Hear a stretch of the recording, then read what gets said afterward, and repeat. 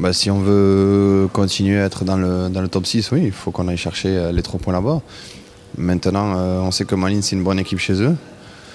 on va essayer de, de, faire, de rééditer la même performance qu'on avait pu faire la saison dernière contre eux. Et après, voilà, aujourd'hui, nous, on sait que si on veut continuer à, à être toujours euh, en haut du classement, euh, il ne faut plus laisser de points en route. Donc euh, voilà, on va, on va tout faire pour, pour amener des points de, de Malines en, faisant un bon match. Et surtout, comme je dis à chaque fois, avec l'état d'esprit qui est le nôtre, c'est-à-dire rien lâcher, donner sa vie pour l'autre. Et puis j'espère qu'on sera récompensé. Moi, quand je suis arrivé, déjà, moi, l'objectif, c'était déjà de retrouver le plaisir. Parce qu'à Guingamp, je jouais pas souvent.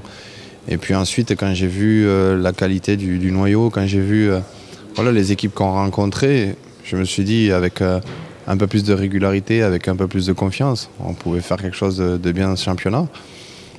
en début de saison, on a, mal débuté. Et aujourd'hui, voilà, je pense que si on est là, c'est qu'on le mérite et qu'on travaille tous les jours de, chaque semaine pour, pour être le plus performant le week-end. Donc voilà, je pense que Aujourd'hui, c'est peut-être pas une surprise que, Charleroi se trouve là. Bah, l'objectif, c'est, je veux dire, qu'il reste collectif. Après, euh, euh, il y a toujours euh, des joueurs qui sont là pour marquer. Les attaquants, on en fait partie. Donc, si on veut que, le collectif marche bien, il faut que les attaquants, le plus souvent possible, parce qu'on a pu voir ce, week-end dernier contre Genk que c'est un défenseur qui a marqué, mais le plus souvent possible, il faut que ce soit les attaquants qui marquent.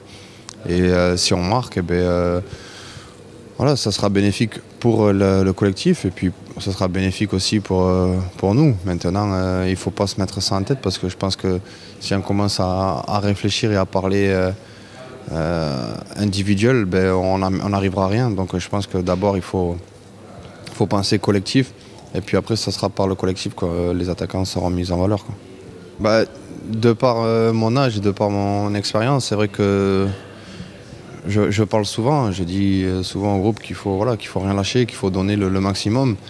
Et euh, quand il y a des, coups de, moins bien, on est certains joueurs voilà, à pouvoir prendre la parole et à, dire qu'il ne faut pas se relâcher, qu'il faut au contraire euh, donner plus, travailler plus pour, être récompensé. Donc je pense qu'aujourd'hui, le, secret d'une réussite, c'est le collectif. jamais un joueur n'a fait, fait le collectif. Par contre, le collectif a souvent révélé les joueurs. Et euh, si on continue à être dans cette, dans cette phase-là, c'est-à-dire que euh, jouer euh, en équipe, toujours donné pour le collectif, eh bien, certains joueurs, comme il y a eu en fin d'année 2014, sont mis en évidence. Donc voilà, je pense qu'il faut, faut, continuer sur ces bases-là.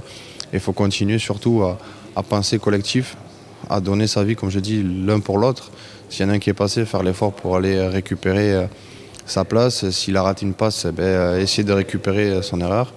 Euh, comme euh, si demain, moi, je rate une passe, il y a un collègue, je serais content qu'un collègue récupère la passe. Donc, donc voilà, c'est vrai que c'est le mot d'ordre aujourd'hui, c'est collectif, travailler l'un pour l'autre et, surtout voilà, qu'on ait notre état d'esprit qui nous a permis d'arriver jusque-là. Tous les matchs sont importants, pas notamment que les matchs contre Gand ou Genk ou Bruges.